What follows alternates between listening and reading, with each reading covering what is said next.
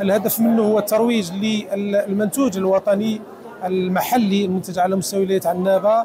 إبراز القدرات الإنتاجية لهذه المؤسسات. أيضا إبراز القدرات التصديرية لمختلف المن يعني المنتوجات المنتجة على المستوى على ولايه عنابة. ولاحظت انه كل المنتوجات أصبحت ذات نوعية جيدة نوعية يعني عالمية. يمكن وضع كل منتجاتنا على مستوى كل الأسواق العالمية. وبالتالي الدعوه موجهة إلى كل المؤسسات للولوج لاقتحام هذا يعني هذا المجال للرفع من قيمة صادراتنا خارج قطاع المحروقات. وهذا رهان يعني تعول عليه كثيرا السلطات العمومية.